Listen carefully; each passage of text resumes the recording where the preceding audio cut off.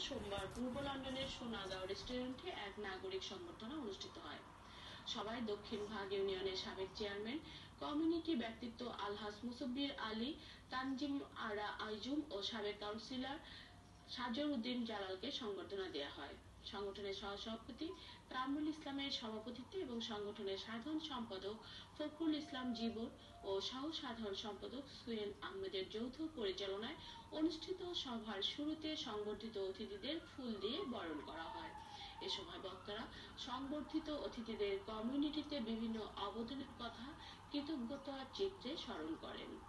অন্যান্যের মধ্যে উপস্থিত ছিলেন জুয়েল আহমেদ, ফখরুল তাজউদ্দিন মোহাম্মদ আলী জালাল উদ্দিন আব্দুস সামাদ, সাইফুল আলম, আজহার আহমেদ সহ আরও অনেকে। যুক্তরাজ্যে